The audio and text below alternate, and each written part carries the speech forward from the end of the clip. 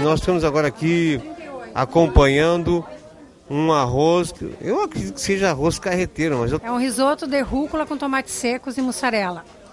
Então é diferente esse risoto. É, não é como carreteiro, não é um arroz soltinho. É um arroz mais úmido, mais cremoso, que a nata e o mussarela derretem e proporcionam essa cremosidade no, na comida. Eu que tenho feito essa receita lá em casa e hoje a gente vai fazer uma porção bem maior para o pessoal degustar aqui. Vamos repetir novamente aí os ingredientes e o nome desse prato que a Luciana, lá de Alegrete, faz seguidamente na sua residência.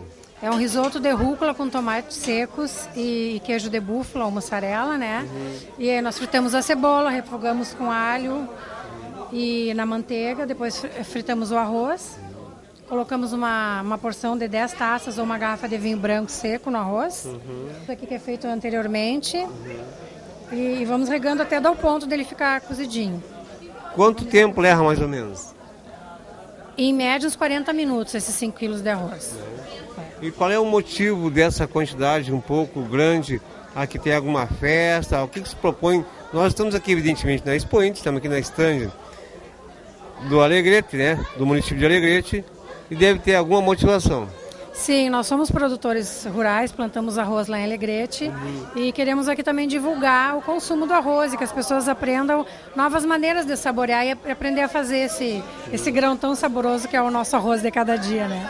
E como é que se faz para ir a Alegrete e comer esse arroz lá em algum evento que vocês estejam construindo? Ah, nós temos a, a Semana Roseira, que sempre em final de maio, início de junho. Uhum. É uma semana inteira de trabalhos, uhum. né, com comércio, tudo. E receitas, receitas lá, bastante coisa. Vai, vai, vai rodar então uma festa aqui só de arroz? Isso, vai ser é. uma festa agora com coquetel. O plantio direto é aquele sistema que revolve o menos possível a terra. No arroz, ele não é aplicado na íntegra. Ele é, é, é preciso para o arroz uma correção superficial no solo e, e o plantio direto para nós tem uma denominação de cultivo mínimo, que é revolver o mínimo possível a terra, porque a cultura, por ele ser irrigado, ele possui outras necessidades em que o plantio direto não consegue uh, uh, não consegue uh, objetivar. Bom, a nossa lavoura de arroz é a única lavoura do mundo totalmente licenciada.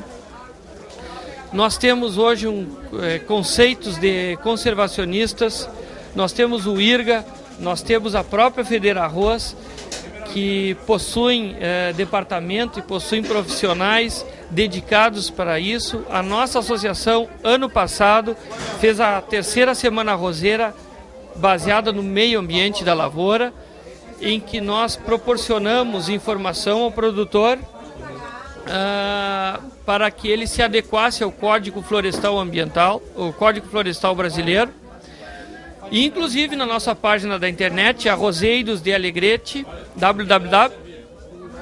É, nós temos um. Nós fizemos, a nossa diretoria fez, que é extremamente técnica, fez um, um, um documento que, é, é, que reúne todas as leis, todas as especificações técnicas para que o produtor se adeque a, a nova a legislação vigente. Um protocolo de compromisso. É um protocolo de compromisso. É o, eu agora está me fugindo a, a, o nome, mas tem, temos lá na nossa página, está lá disponível para, para download. Coisa feita por nós, única no Brasil. E aí, Lúcia, hora de servir? Hora de servir, vamos ver se ficou bom.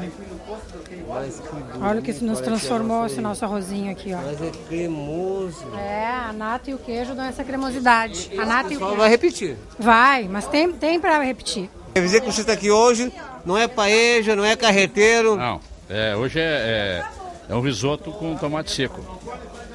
Mas a cozinheira é essa senhora aqui, ó. Sim, eu já sei que ela é médico. Hoje tu é o assessor. Hoje eu sou assessora, estou aprendendo com ela. Aqui. Agora estamos fazendo o lançamento da hum. quarta semana roseira aqui na Expo Inter, junto aos nossos convidados. Uhum. E, uh, dizendo para que todos participem, né? O ano que vem, em 2011, estamos fazendo isso bem antecipado, porque a gente quer o Rio Grande inteiro em Alegrete, de 29 de junho, de 29 de maio a 4 de junho, no nosso município. Uma satisfação estar aqui nesse momento, eh, junto à Casa do Alegrete, junto à Associação de Arrozeiros de Alegrete, do lançamento da quarta Semana Roseira de Alegrete, cujo tema vai ser o arroz como alimento.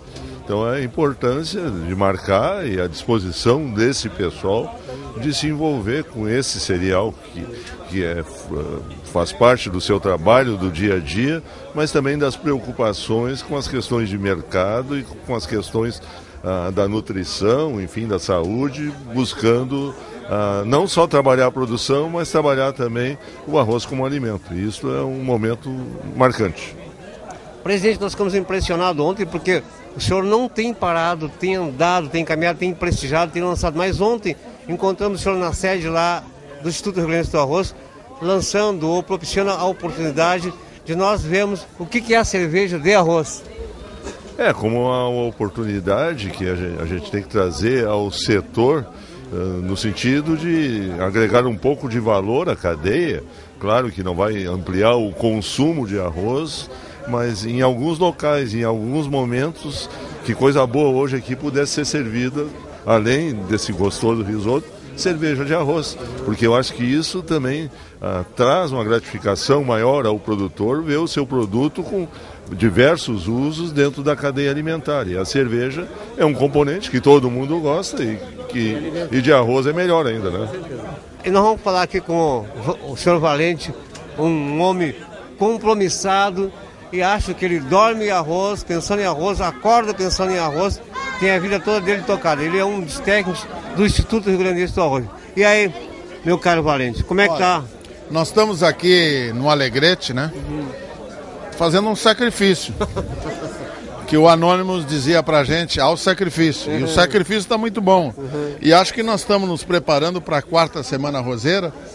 E tem que reservar essa data de 29 de maio a 4 de junho. O presidente Dornelles já fez o convite enfaticamente. Né? E o arroz vai andar lá nesses dias como o alimento principal.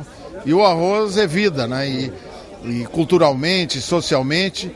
E Alegrete tem também uma alta produção de arroz com produtores com alta produtividade. Lá nós temos o selo ambiental também, produtores distinguidos que conseguiram, fazendo todo o manejo correto, de forma sustentável. Eles Ale... estão certificados lá ambientalmente, né? É, alguns. Eu acho que o desafio é multiplicar isso e o IRGA tem um objetivo de estimular esses produtores no sentido de que é, quanto mais é, saudável for o manejo e eficiente, o alimento cada vez vai ser com maior qualidade.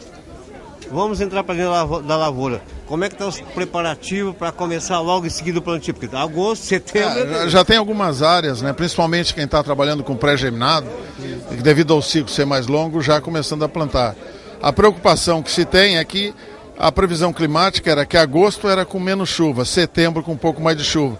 Pode dificultar um pouco para quem está programado para semear em setembro, mas em outubro é tranquilo. Nós temos uma área já preparada significativamente a nível de estado, pronto para plantar se precisar até hoje. Então, temos que estar tá bem informado né? e, e também olhar a nossa televisão, nossos programas, uh, no sentido de saber o que está prevendo, o que, que vai acontecer, porque o produtor hoje já está mais profissional nesse sentido de estar uh, tá bem informado. Isso aí, vamos mostrando, tem mais gente por aqui, vamos conversar com pessoas que estão nesse momento saboreando e saber o que, que estão achando do sabor desse arroz. Vamos conversar com essa senhora aqui. Dá licença, boa noite. Como é o nome da amiga? Marinês. Marinês, você está gostando desse prato que está sendo servido aqui? Muito bom. Nunca tinha experimentado. Incrível, muito bom. Meu caro Pontes, o que, que você está saboreando aqui? Um arroz maravilhoso. É incrível, né? Se a televisão tivesse a possibilidade de captar o aroma, eu diria que ele está simplesmente provocante. Né? Com certeza, com certeza. Futura, amigo... Futuramente, talvez. É isso aí. Vou deixar o amigo saborear então. Uma boa noite, muito obrigado. Muito obrigado.